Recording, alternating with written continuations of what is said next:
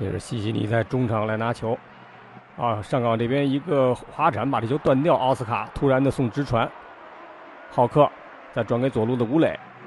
看吴磊怎么来处理这个球，突然的一个急停，然后脚后跟一磕，非常的精彩，然后这个时候浩克已经从他身后套上来，